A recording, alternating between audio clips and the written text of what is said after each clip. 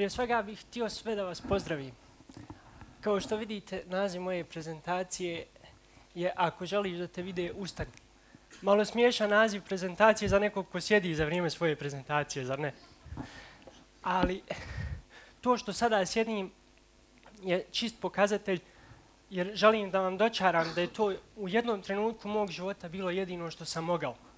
Naprimjer, ja sam, ja sam rođen sa cerebralnom paralizom i do svoje pete godine života sam bio praktično nepokretan.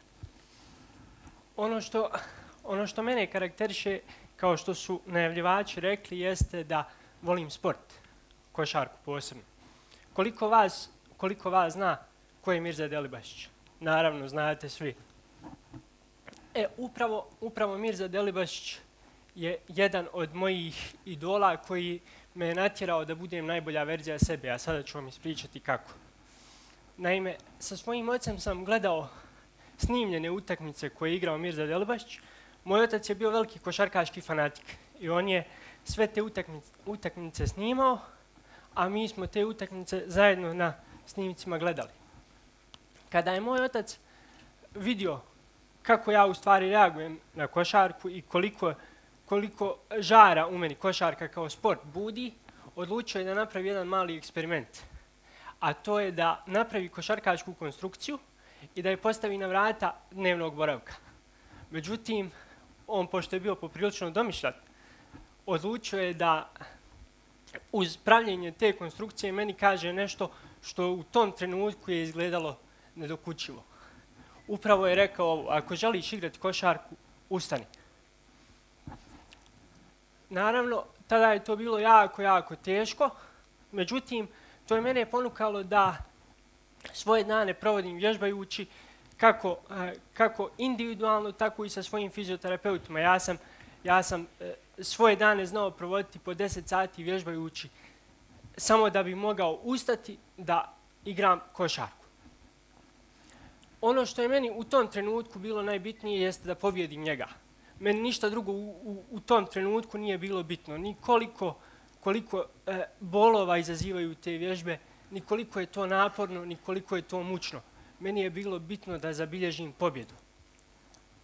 Pošto je moj, pošto je moj put, hvala Bogu, bio poprilično napredan u tom periodu, rodila se nada, ja sam počeo stajati na svojim nogama.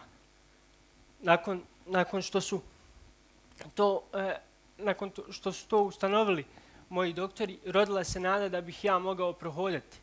Međutim, ja još uvijek nisam bio dovoljno stabilan i nisam imao dovoljno jaku muskulaturu da bih mogao početi hodati.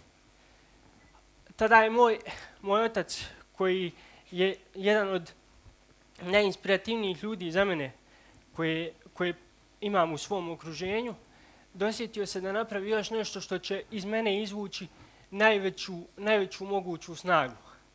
A to, e, taj njegov zahtjev se, zahtjev, e, se zasnivao na činjenici da ja kada bih ustao i potrošio svu svoju snagu da, da ustanem na noge i da uputim šut prema košu, ukoliko taj šut pogodim, a nakon toga zbog inercije i slabog organizma padnem, moj otac bi rekao da taj koš ne važi. Kada bih ga pitao zašto taj koš ne važi, on je meni rekao zato što si pao. Taj koš se ne računa, moraš ustati ponovo, moraš ponovo šutirati, ako želiš pobijediti, uradit ćeš to na pravi način. Na, upravo zbog toga sam u petoj godini života napravio svoje prve samostalne korake, nakon čega je uslijedilo nakon čega su uslijedili mnogi operativni zahvati i mnogi mukotrpni oporavci koji su me danas doveli pred vas. Jer ovo što sam danas je upravo zbog toga što sam nekada bio. Međutim, moram biti iskren, ja, ja svoj životni san da budem profesionalni košarkaš, nažalost, nisam uspio ispuniti. Ali ono što je važno je, jeste da ja od svog sna nisam odustao. Jer da biste, e, to, što, to što imate san, ne znači da je taj san ispravan ukoliko ne, nemate ispravno postavljen cilj koji će uslijediti na putu prema tom snu. Ja sam imao san da budem profesionalni košarkaš. Taj svoj san nisam ispunio, Međutim, nisam odustao od sna da budem profesionalni sportista. I to je ono što, na, vjerovatno ono na što sam najponosniji u svom životu. Naime, kao osoba sa cerebralnom paralizom odlučio sam se na jedan od najtežih poduhvata za osobu koja voli od cerebralne paralize, a to je 2015. godine sam se prijavio na vazo vertikalni maraton u profesionalnoj sportskoj konkurenciji. Za one koji ne znaju kakva vrsta takmičenja je u pitanju, to je maraton u kojem vi iz prizemlja morate se popeti u 768 stepenica na 36. isprata vazovog tornja. Ja sam to uspio uraditi zajedno sa svojim prijateljima. Ja sam to uspio uraditi za nešto više od 11 minuta 2015. godine i tako sam postao prva osoba sa invaliditetom koja je